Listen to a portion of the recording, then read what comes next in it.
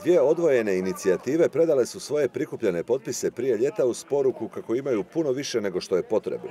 Neslužbena informacija iz ustanove koja je provjeravala potpise kaže kako je mnogo potpisa lažirano. Tako se netko potpisao za mrtve osobe, često se ne poklapa prezime osobe i njen osobni identifikacijski broj, to jest OIB i slično. Iz vlade kažu kako oni još nemaju nikakvu informaciju o provjeri. Povjerenstvo sada kontrolira sve to što je APIS napravila, dakle sve mora biti transparentno, svaki glas provjeren kako bi zaista evo e, to pravo na referendum zaživjelo u punom smislu sukladno Hrvatskom ustavu. Iz građanskih inicijativa različite reakcije Narod odlučuje će se oglasiti kada dobiju službeni dokument. Iz istine o Istanbulskoj najavljuju tužbe sve do Europskog suda pravde. Mi ćemo, kao što je već rečeno, iskoristiti sva demokratska sredstva koja nam stoje na raspolaganju da bi dokazali da mi imamo dovoljno potpisa i da bi na neki način suzbili ovu samovolju političara koji potpuno e, gaze e, demokratske principe. Jednostavno ne vjeruju ovoj vladi, misle da su prevareni, već su tužili ministra uprave jer je prebrojavanje dodijelio APIS-u i nije dozvolio njihove promatrače.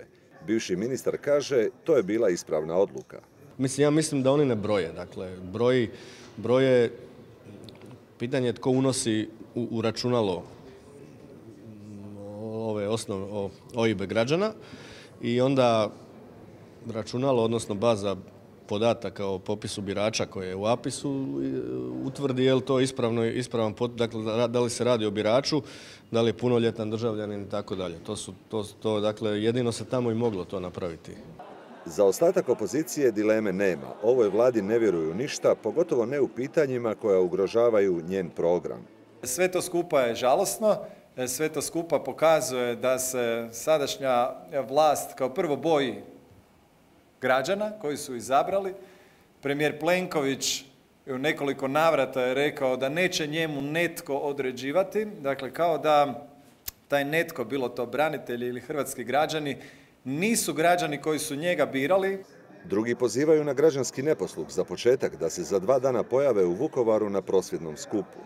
Pa ja sam pozvao ljude na reakciju. Znači reakcija može biti prosvjed, reakcija može biti da na prvim sljedećim izborima uskrate glas onima koji su ovaj, ovo napravili. Vidjet ćemo kako će narod reagirati, ali sigurno ovo neće proći bez nezadovoljstva i posljedica po one koji su ovo skuhali.